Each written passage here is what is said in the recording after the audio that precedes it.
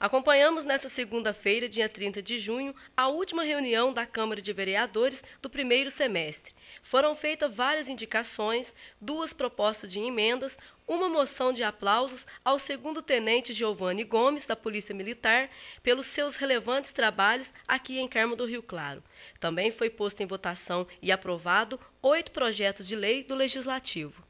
O vereador Wilber Moura fez uma indicação ao chefe de infraestrutura pedindo mais atenção à Recicarmo, que está passando por alguns problemas na sua sede. Eu estive mais uma vez na semana passada na Recicarmo em contato com a presidente e todos os funcionários associados da Recicarmo e nós vimos que eles estão meio que abandonados naquele local. É, vou citar aqui, eles foram roubados, teve gente que, que invadiu, né, arrombou a sede dele, arrancaram é, os vitrôs, é, estragou as portas, entraram lá, roubaram algumas coisas da Recicarmo, inclusive até um cofrinho que eles tinham lá, de, de, que eles estavam guardando um dinheirinho. Então eles foram roubados. Hoje cortaram o transporte deles. Sabemos que tem associada lá que trabalha, uma família carente que trabalha na Recicarmo, mora na Jacuba e hoje está saindo quatro e meia da manhã de casa para poder chegar a tempo na associação, poder trabalhando. É, então nós vemos, é, estão sem IPI, a subvenção não foi repassada, a bolsa reciclagem que era do governo que é uma é uma contribuição, né, uma gratificação, não chegou ainda. Então sem a subvenção eles estão sem IPI, estão com as botas rasgadas, estão reaproveitando luvas. Então a situação lá está tá bastante crítica o serviço que eles fazem é de extrema importância para o município, essa reciclagem. Eles trabalham todo esse, esse lixo aí, eles vivem da reciclagem, né? muitas famílias vivem da, da, da, arrecadação que eles ganham através da reciclagem do lixo. Então a prefeitura tem que olhar com mais carinho para eles, dar esse suporte. De autoria de Juliano Alves, também foi aprovado um projeto de lei que declara utilidade pública a loja maçônica Acácia do Sapucaí, número 329, da cidade de Carmo do Rio Claro, pelo seu excelente trabalho. Hoje a gente sabe que tem duas lojas é, é, de maçonaria no município. É uma entidade que visa estar tá sempre ajudando a população é, a menos carente, né, a menos favorecida.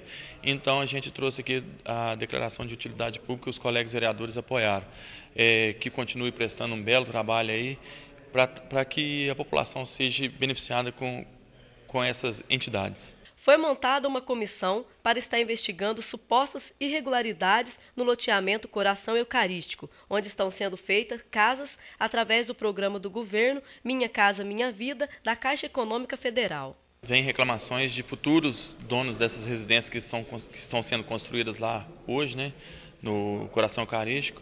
Então, são, são, foi relatado a mim que são proibidos de entrar, que pessoas falam que tem trincas, rachaduras, é, qualidade de material e o vereador está aqui para defender a população. Então a gente resolveu fazer essa comissão, é, pediu o apoio do colega engenheiro Carlos Henrique Vilela, do meu colega Hilber Bitol, para a gente estar tá formando uma comissão nessa casa legislativa e estar tá defendendo a população carmelitana, porque depois que a população entrar dentro dessas residências, se tiver problema mesmo, é, aí vai ser difícil de, de reverter. Antes, antes tentar a reversão agora do que eles for eles tomar posse desses bens que estão são comprados, que estão sendo comprados aí e ter prejuízo. E o que eu alerto a população carmelitana é que a gente não quer prejudicar ninguém que queira comprar sua casa própria. Isso aí vem de denúncias de, de futuros compradores dessas residências, como eu te expliquei, que, que estão sentindo lesados até mesmo antes de estar tá recebendo essas obras. O engenheiro Carlos Henrique, que também faz parte da comissão montada pelos vereadores, disse que as irregularidades serão apuradas e, se forem constatadas, serão levadas aos órgãos competentes. Nós vamos apurar as coisas que possam estar, as irregularidades possam estar acontecendo e vamos levar é, a, ao conhecimento da Caixa, ao Ministério Público, nem, nem municipal não vai ser né, da comarca, vai ser federal, para que se tome as medidas cabíveis. A Câmara de Vereadores entrou em recesso nesse mês de julho. A próxima reunião ordinária da Câmara de Vereadores será no dia 4 de agosto, às 17 horas.